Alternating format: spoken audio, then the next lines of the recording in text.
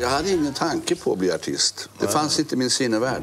Ja, det var en kväll i juni då när sommaren är som bäst. Lars Lasse Berghagen föddes i Enskede i Stockholm 1945.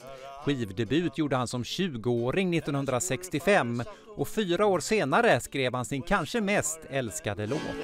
Ja, han var min bästa vän när jag var ett litet barn. Folkkär för en ny och yngre generation blev han på 90-talet när han gjorde SVTs Allsång på Skansen till en tittarsuccé. Och sen igen på 2000-talet i TV4 Så mycket bättre. Lasse Berghagen blev 78 år. Han blev ung och han blev fri